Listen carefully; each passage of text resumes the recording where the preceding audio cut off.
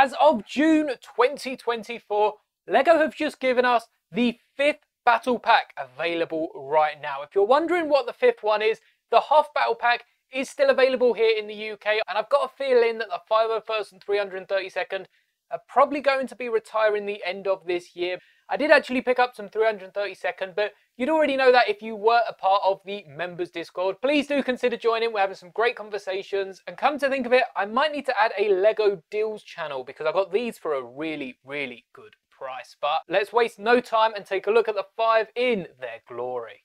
And here we have all five of the battle packs from the recent one in June of 24. Then we got January of 2024. Then we have, I think this was released in July of last year. Might have been June. Pretty sure it was July. And then we have January of 2023. And I'm assuming the Hoth Trooper was sometime in 2022 if it retired at the end of last year. Must have been about two and a half years old. But that one stands out. Actually, that and the Mando. We've got a nice meaty sandwich here. We've got the Clone Troopers as the fill-in. And then we've got the Imperials as, I guess, the bread and a few Mandos at the end. But I think one thing's for certain, LEGO definitely know how to make a battle pack. This first one came with a speeder.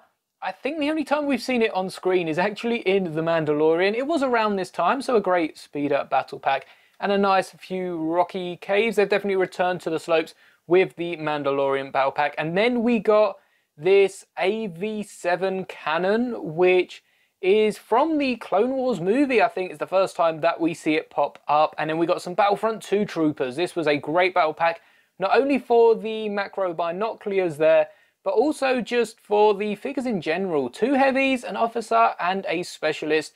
Some great troopers. Speaking of some great troopers, we then got the Ahsoka clone troopers, or the 332nd Legion, split from the 501st for the final Clone Wars mission, and that includes Captain Vaughn, two in from the right over there, and three regular troopers, the two of which on the left do have a blue jump pack. And then we also have the Clones versus Battle Droids battle pack. Hopefully not the last one. I'd love to see another one in this style. Perhaps get some other droidekas and Perhaps even a tactical droid in the next one instead of the giant tri-droid. Have a little build with a tactical droid like a Flitknot Speeder would be pretty cool. But this battle pack did come with four clone troopers, just like the last two that came before it. But instead of just including clones, this one cost a bit extra, come with two B1 battle droids, three B2s, and the build was focused on this giant three-legged tri-droid, which is meant to represent the bigger one, it's almost the size of the smaller one, but we'll take a look at alternate builds in a second. It also came with a BARC Speeder, 25 years of LEGO Star Wars. This BARC Speeder is based off the very first design LEGO made, which is actually based off a quick flash of it in Revenge of the Sith, so they definitely took a few more liberties than they would now. A little barricade for the clones, a small box down here, which is something we see continue over to the next one, and then we also got a STAP or a STAP, with the B1 to ride. It actually gave us some brand new B1s because it matched two of the arms on both of those. So I'm sure many of us just switched the arms around. And in the most recent, you've probably seen my review a few days ago, is this Mandalorian Battle Pack. And a bit different from the Clone Troopers, it included two factions like the Clone versus Droids Mandos and then the Imperial Commandos and is based off the Mandalorian show, though is still a great battle pack nonetheless. So taking a closer look at the minifigures for the battle packs, I have tried to level the playing field and by that I mean I've just removed the droids from the one earlier this year. In 2024 the droids will be looked at separately and I think there's a few good points to make about the droids but all of them come with four typical Lego minifigures. By that I mean they're made of the legs, torsos, heads. All of them actually are made with a specific helmet. None of them come with extra hair pieces though. I think it's safe to say for all of these characters that does make sense. We do have a Hoth version of the Scout Trooper, which does come with the grey arms instead of the black that we see on the Endor Scout Trooper. And then we've got three of the newer versions of Hoth Troopers. These have come in a few other sets. I'm not sure if they were in the latest AT-AT playset, but I know for sure they're in the UCS model. And I think personally, that new helmet does wonders for the figure. We then move on to the Battlefront 2. As I said, These are based on the different classes you could play as on the Battlefront 2 game. But we are missing one. We've got a heavy, we've got a specialist, we've got another heavy, and we've got an officer. The reason they are missing out on the assault, which you could say there's one heavy, one assault, they are mentioned as two heavies on the box art. But the reason we don't have an assault is an assault is just a regular clone trooper. So I'm sure loads of people had some assault classes from the 2020 battle pack, which was a bit bigger to the 2024 battle pack. So if you would like to see the comparison between the 2020 and the 2024 battle pack, definitely let me know in the comments. And that's definitely something I can make happen. I've just got to find all the pieces and rebuild it. But similar to the 501st, we then have the 332nd it's nice to be getting that helmet back because the first time we got it, we got it without the helmet holes on the side. I really hope helmet holes are going to be in all clone helmets going forward because it helps make custom clones, especially name clones like Vaughn, who is three in. It's not going to be a popular choice for many, this Vaughn minifigure, but the only thing that identifies him apart from the rest is the little captain lapel on as I said in my review, his left pec here. Let me know down in the comments if there's any custom clone troopers that can be made using this piece. Obviously, they'll have to be a part of the 501st. I don't really think we saw this Captain lapel on any of the other clone troopers, let alone just in the 501st. But we do get three 332nd, and there's a really cool feature. I mentioned it in my original comparison last year, though I'm sure many of you probably weren't around at that point where if you swap the helmets of both of these troopers, you end up with four almost plain 501st Phase 2 troopers. You do have the different design on the heavy troopers, but at least for the specialist and officer, if you swap the helmets with two from the 332nd Battle Pack, you end up with not only two regular 501st Assault Class troopers, but also some specialized 332nd clone troopers, which you can see over to the right on my clone display, I have done exactly that and given myself some different classes of clone troopers on the right. You can see the 501st specialist classes and then under Vaughn on the left. We've got the same classes but with a 332nd, which I'm afraid didn't make it into the game as the plug on Battlefront 2 got pulled way too early and in fact we barely got any of the legions. We got a load of the popular ones but there was definitely more they could have done. Now, that is not all for clone troopers in battle packs. We do, of course, have the Coruscant Guard, otherwise exclusive to the Coruscant Guard gunship. So it was an interesting choice to put one in here. I'm very happy they did. It allowed me to get my hands on one before I got the Coruscant Guard gunship, which I only got about a month and a half ago. So I was very happy to get one of them. And you can see they do have arm printing. That is not how they arrive in the set, I'm afraid. Not yet for these clones. The only time arm printing has been used is on Rex 5s and possibly a few other clone troopers. But these arms are from Firestar Toys. And if you do want to purchase these, I do have a discount code to get you 10% off. And it does also give me some benefits. So please do feel free to use it if you are shopping on Firestar, not just for printed arms, but really for anything. I'll leave it linked down in the description for you to copy and paste. And we also get three shiny clone troopers as well. I'm not sure if I mentioned that now, but they are exclusive to this battle pack. And it's really, really cool to get our hands on some plain phase twos in the new 2020 style printing. The battle pack that LEGO have just released does come with two Mandos and two Imperial Commandos. It's about time we got some Imperial Commandos, a little different to the Rebel style, but They'd still look great in a Rebels MOC, And in fact, these Mandalorians also work in a Rebels diorama in the nice blue colour as they are loyalist to Bo-Katan. And they all tend to be blue rather than the colourful ones we see in Din Djarin's covert. But I'm sure they're all probably going to update their armour now and go back to the blue we used to see in, in Clone Wars. So the minifigures are really cool. If I had to rank them, I think my favourite are definitely the 332nd Clone Troopers, followed closely by the 501st. And although it was really, really cool to see some shiny Clone Troopers, and I couldn't have made my custom Wilco from the Bad Batch without them, I'm going to put the Mandalorians and Imperial Commandos above them. I really do like these. And the Imperial Commandos especially, it's really cool that we finally got a helmet mold for them as well as all the other new helmet molds we're getting. And then we've got the other Clone Battle Pack. And last but definitely not least, is the Hoth Troopers. I really like the Scout, but I do think it would have been better if we got four Snow Troopers, especially with the UCS AT-AT. People don't want a load of this Scout Trooper, whereas with these specialists, any of these clone troopers really, they are really fun to get loads of and I think because of the build of this, it's probably going to be a one-off. Taking a look at the builds, they don't really look that impressive. I don't know, some of them. This cannon does look pretty cool and so does the Tridroid. But I think for the most part, they aren't that impressive without the minifigures. The minifigures definitely make the battle pack what we have come to love over all these years. In fact, I've been collecting battle packs for 15 years now, so I've definitely seen my fair share and perhaps one day I can do a review of every single battle pack that LEGO have come out with, but for now, I'll stick to just doing the ones I can get my hands on. Starting off with the Hoth Trooper Battle Pack. There are a few weapons you might not have seen in the minifigure reviews, and that is because I have placed them on and around these models. In fact, the first one is the extra stud shooter pieces, and on most of these models, you will find them actually clipped to the model itself. Let me get a bit more light on this so you can see exactly what I mean. I've studied down the two extra red studs we get for this stud shooter on the side of the gun itself. And a lot of the time you can do this, you can put them either side so that when you are displaying this on your shelf, no one knows that there are a few extra studs studded behind, unless you tell them and show them off as a cool feature. But you do have the spare pieces hidden away.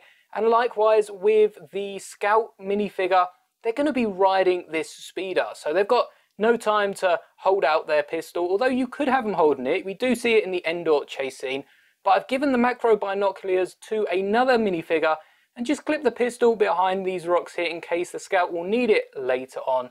The rest of the build, it's a lot of white slopes and unless you're building a winter village on a hill or perhaps you can use these for some roof tiles, it's not the greatest. You can mock out the speeder, turn it to minifigure scale, perhaps even make it a bit bigger or add some of these slopes to make it armored up and a bit beefier, but we'll take a look at alternate builds and compare the MOC-ability in a minute. And we will also be weighing these to see which is the better value later on. Now we have the turret.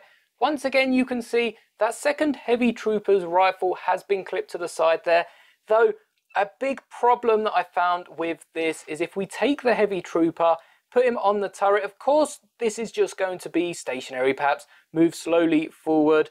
But if you were to pick the model up and want to move it, play with it, then any second now, the clone trooper will fall off. To be fair, it's not actually that bad. I did complain about it in my review, and it was the biggest problem with the set. We do have one of the bigger flick fire missiles, which just shoots out of the cannon, and that does work. It's a bit lower than the actual turret itself, but it's a nice play feature. It's a decent looking set. I do think that the legs are still a bit too unstable on these clip joints. The actual model has the legs coming out forward and directly out the back, so they didn't need the hinges. I would have much preferred a similar connection to the front so we could perhaps angle them rather than trying to turn them, but I guess it's just something Lego have added to make it fit on shorter shelves so you can display the legs spread just like that. It's a weird feature but it does look really, really cool. Personally, I would rather have a few of them sat on my shelf than some of these. You can even pop it off of the legs and add it to a custom Venator display where you've got all the guns along the side and that's going to look really, really cool. So I do think it's a lot better than the Hoth Trooper. And then we go one further and have the Swamp Speeder, which is a really, really nice build They've managed to pack it in about a quarter of the minifigure Scout model. As I have picked up two more of these, I will be revisiting this. I know it's about a year old now. I'm not sure anyone will be interested, but I am going to revisit this and make a minifigure Scout MOC. Now I have enough pieces to build probably four or five of these if you include those rounded pieces off of Yoda's shuttle. So keep an eye out for that video and I look forward to making another set minifigure scout. It feels like it's been so long, but something that I did make minifigure scout was this Tridroid. And I mean, the STAP, the STAP is pretty much minifigure scout.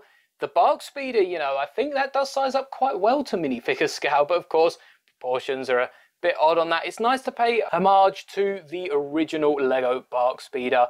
They've changed it a bit. updated it to keep it with the more modern looking Lego sets, but that Tri-Droid is definitely the center of attention and to get a giant droid in Lego is really, really cool. Though, take away a few pieces and perhaps give us another STAP speeder, it might have made the set even more worthwhile. Now, the recent set, I mentioned in my Discord, we've had many conversations about this. I really wanted to love it. And there are aspects of this that I do absolutely love. The fact that it does have a back is really, really cool. Once again, I've taken the blaster from the back, given it to my Mandalorian warrior, because I think the Night Owl just has to have the two little blasters. But it's mostly a sloped build. There's nothing on the interior. There's no workstation. There's not even a little computer or something would have been really cool to add on the inside. It looks like this arch is just more rockwork in a cave. Instead of it being an actual facility, the only indication we have of it being a facility And these little glowing lights on the side. It's not too great. Perhaps it looks better with the other set, and that's definitely what they had in mind when making this. We do have a little turret, and this crate is actually really, really cool. In the last set, actually, I don't know where I put the crate. I just had it a second ago. Ah, here we are. Here's the other builds. We also get a little barricade for this Clones versus Droid battle pack, and this little crate which took absolutely no effort. So they've beefed it up for the Mando one. A lot of fans have actually really liked this design and displayed it around a few other sets. So this has the added brackets on the side to give it slopes. And I'll probably also be modifying my one from the Clone Android Battle Pack to have a similar design to display amongst my ships. But the main selling point of this actual build is probably the play feature. You can display someone on that piece and me personally, I'm going to take it, whack it on another build, but I really like that new display piece that you get loads of in the Avengers Tower, and I think that's probably going to replace the old one pretty quickly if it hasn't already. A stud shooter blaster, it's a decent build. There's nowhere to clip it on the set. I think I would have much preferred if this was able to clip up on the top here and perhaps even if they just gave us a 1x2 with a jumper plate and enabled us to clip the stud into the bottom of that it would have just meant so much more because it would mirror the Moff Gideon turret in the bigger battle pack playset. A load of people have been calling that a battle pack. That is not a battle pack. These are the only five official battle packs that are still available. And I didn't take a look at the droids, so let's take a look at them now. Before we take a look at the droids, let's have these ranked very quickly. I think my favorite is the Tri-Droid. I really like the fact that they've used the bricks to actually build a character, though the Swamp Speeder itself is an amazing build. They're both tying for first place. Then we have the turret here in second place. The half speeder's coming in third for me, and I'm afraid this slopey build on the right is last place. So here are all the droids we get on top of the minifigures. It is an extra £5. We can't say it's an extra £10. Most of the other ones did cost £20. And as far as price is concerned, I don't really know what's the better value until we start weighing these, but this droid definitely helps to increase the value of this, the Tri-Droid on the right, but we did get two B1 battle droids and three of these brand new B2s. It's been a while since we got some B2s, and I must say they were a welcome addition to this set. They're looking really, really cool. Slight updates on the body build as well, which is nice to see. LEGO just haven't given us the older mold Though for this B1 here, I actually have my own one that I've made because I do think LEGO missed the mark with it. They did include on the back of the B1 a clip so that the blaster could be held whilst they were riding on the step, but they could have made it look a bit nicer and given them a droid backpack that we see them use almost every appearance in the Clone Wars. All I added to create this was a 1x2 and one of them aerial pieces on top and make it all tan colours so it fit in rather than the grey that really does stick out. And I'll leave it up to you. I'll put up a community post. There's something I haven't said in a while. But there'll be a community post with both these. Let me know which ones you prefer, but I think the left one just looks so much better. Also holds the weapon a bit further down so that when I turn it around, the weapon isn't stuck over the B1 shoulders like you can see with Lego's version, and it does hide it away a bit better. But now let's take a look at the MOC-ability of these sets. As I've been doing LEGO MOCs here on the channel for at least eight, nine, coming up to 10 months, I have made a fair few MOCs. Starting off with my Endor slash Hoth Speeder here, which is a minifigure scale version of this Battle Pack Speeder. You can see the length is a little bit different. It's a bit shorter than the actual Battle Pack, but you can definitely use most of these pieces. I mean, most of these pieces are present in this model. Yeah, I've added a few extra pieces, especially looking at the back, but it's a strong start to making a minifigure scale model. They've made it a bit bigger for play scale.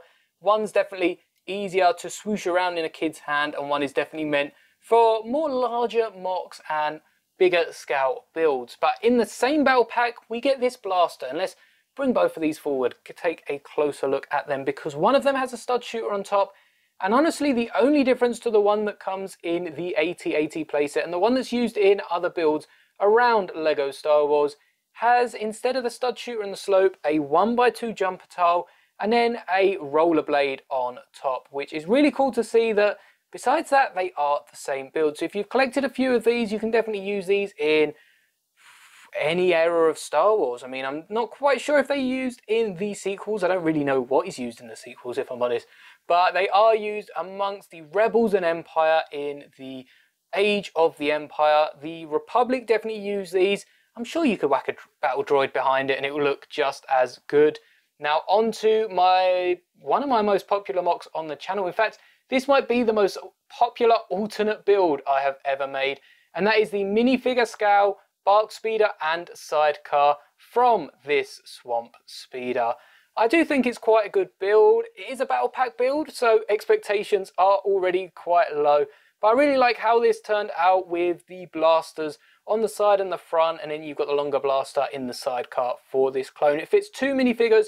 It's a nice and stable build, and yeah, no extra pieces. It holds together pretty well, and I'm very happy with how I got the shape of it. And I also think this did quite well because we were expecting the Grogu sidecar, and that turned out to be £25 for basically for this to be fair. This is only £18, though most stores have it at least 25% off, so you'll be able to pick it up a lot cheaper than Grogu's sidecar.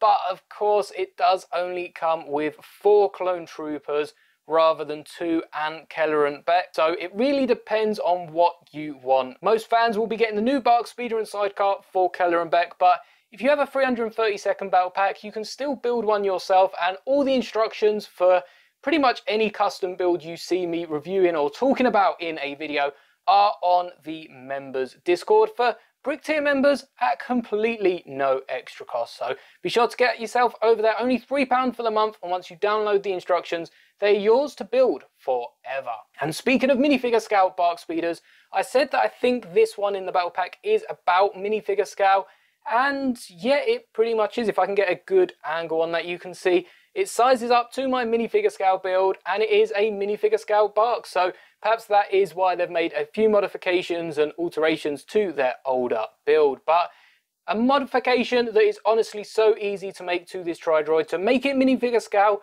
is to make it shorter. Take out the middle chunk of the leg. I know many of you will be saying, well, well, no, that can't be right. It's a lot taller than that in the Clone Wars. When it appeared in the Clone Wars movie, there's actually two versions of the Tridroid. This is the smaller one. If you want to go big, you're going to need a lot more space because they are honestly about that tall. I think it's meant to be like 50 bricks tall if you were to flip your bricks on the side. It's something crazy like that. So honestly, take my word for it. I tried building the small one. There's no way you can get the legs to be stable enough. If you want to see me attempt it, go check out my old review and alternate build. But Stick to the smaller one for your displays and you'll thank me later. As far as the step speeder goes, we got one in the Advent. The Advent is pretty much perfectly minifigure scale. Well, how do we know the scale of the STAP? We know the height of it and this matches the height. This speeder here is actually one brick too tall at the bottom here. You can see this uses a smaller slope piece. It's actually a one by four. And though the Battle Pack STAP does also use a one by four slope, it includes a one by one slope next to it. So it's actually one by five. If you do have one of these smaller slopes in this color, a one by three slope, you can easily modify it and add that to make it minifigure scale. But I don't think it's really a problem. I think we can say this is basically minifigure scale and it works. So there's no alterations that need to be made to this. It's pretty much a decently minifigure sized battle pack. Of course, you couldn't have a Tri-Droid looking the same height as the Stap and the same width as the Speeder. It makes sense, LEGO have blown that up a little bit, but that's basically a minifigure scale battle pack with a few extra pieces. So as for my favourite for MOC building, it is this Swamp Speeder. Nothing to do with how many views the video has. I really love this model and I also just love the pieces that come in this set. There's not a lot of them, but there's a lot of useful elements when it comes to MOC building, especially these slope pieces here. And it really is a fun set to break apart. Second place, we do have the Speeder. Third place has to be this Battle Pack because that Tri-Droid does look really, really cute. And I'm afraid the other builds, the AV7, I did turn into an AT-RT Walker.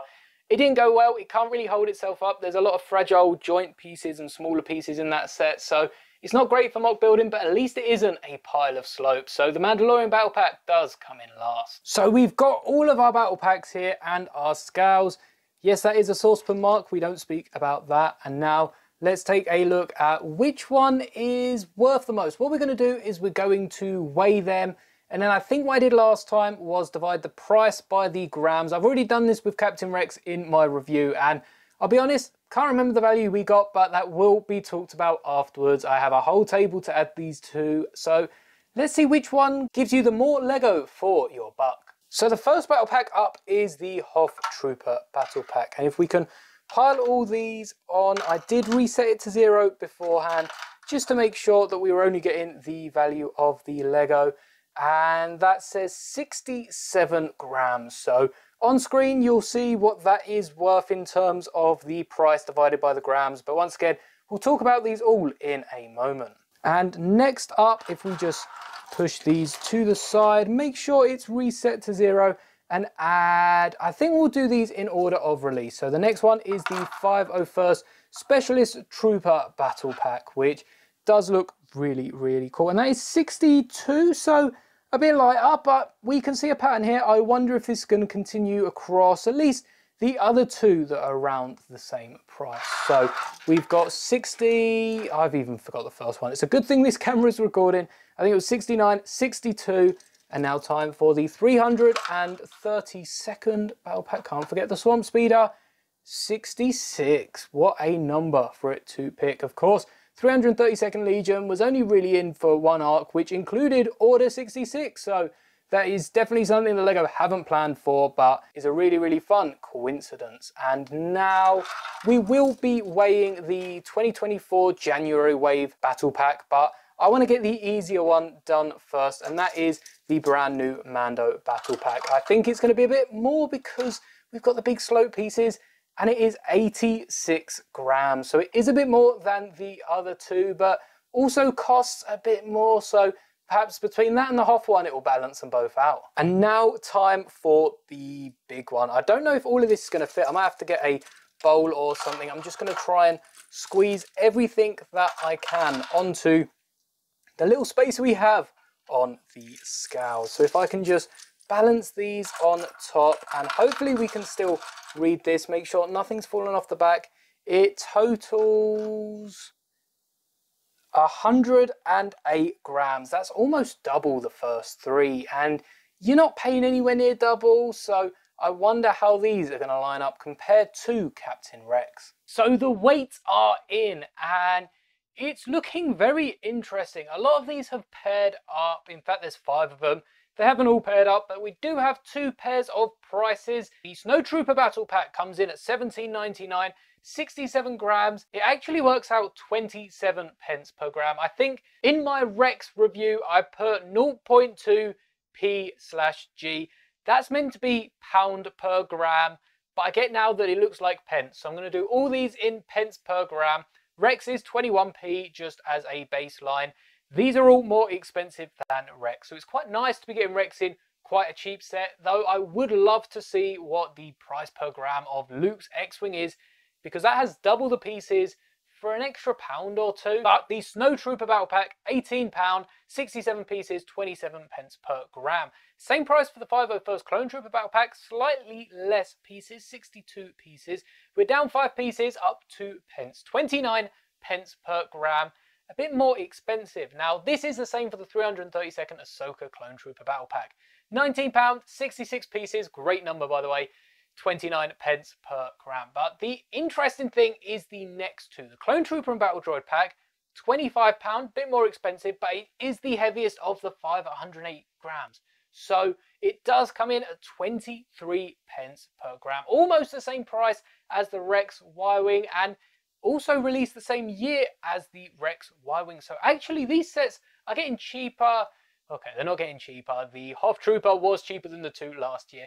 But this year is cheaper than last year. So we're actually getting better value for our money, even though sets are getting more expensive and it doesn't seem to follow that when you're looking at piece counts. The Ambush on Mandalore, as I said, pairs up to the Clone Trooper Battle Droid. £20, 86 pieces, another 23 pence per gram. So it's interesting seeing the trend here. I think this is a much better metric than looking at price per piece. It is a bit silly when you're looking at battle packs that either have a bunch of small pieces trying to build a cannon. I've still got them here on the desk.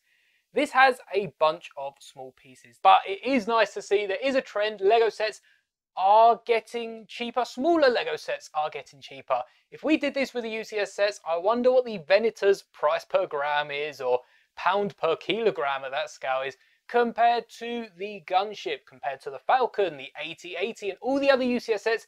If any of you have all the UCS sets and would like to weigh them for me and calculate the prices, I would be very grateful if you left the answers down in the comments. But it turns out the battle packs this year are cheaper than last year and the year before, the Hoth battle pack included, so I guess they are the better battle pack. Though with that in mind, this Swamp Speeder is definitely my favourite of the battle pack.